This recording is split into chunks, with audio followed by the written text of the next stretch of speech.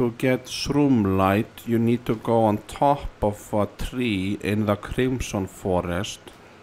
And on top of the tree, you will find these blocks that are very shining.